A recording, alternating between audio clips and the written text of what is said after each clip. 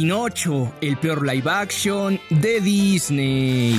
Ya pude ver el live action de Pinocho, el cual pintaba para ser una gran adaptación de la película clásica de Disney, pero lamentablemente falla en muchos aspectos. Así que en este video les daré mi opinión del más reciente live action de Disney. Primero hablemos de las pocas cosas buenas que tiene la película, que son los personajes y el diseño de producción. Probablemente los diseños son los que mejor adaptaron, ya que comparándolos con los de la película clásica, no hay diferencia, los personajes están idénticos. La cinta tiene uno que otro chiste bueno que sí te saca por lo menos una sonrisa. Además los personajes son carismáticos, en especial Yepeto y Pepe Grillo. El resto del elenco también lo hace bastante bien, pero siento que los desperdiciaron, porque todos entregan lo mejor de sí, pero la dirección no los ayuda.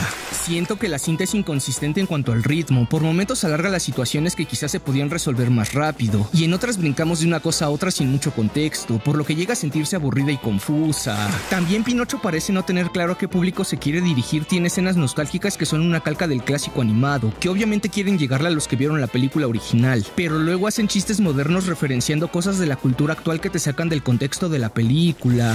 Lo más horrible son los efectos especiales, todo parece una plasta de cosas artificiales que por lo mismo se ven raras, y no me digan que el problema de los efectos en Pinocho es porque es una película para televisión, porque Chip y Dale, Rescatadores, también fue hecha para Disney Plus y tiene mejor CGI.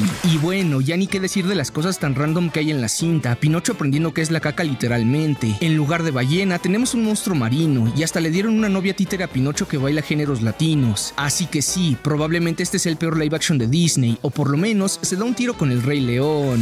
Lo peor es que el director de esta cinta es Robert Zemeckis, el mismo que nos entregó joyas del cine como quien engañó a Roger Rabbit, la trilogía de Volver al Futuro y Forrest Gump. Así que en conclusión, si pueden ahorrarse ver esta película, háganlo, o mejor vean la original o esperen a diciembre a la adaptación de Guillermo del Toro. Pero si ya la vieron, cuéntenme qué les pareció a ustedes, les gustó, o también consideran que es el peor live action de Disney. Bye.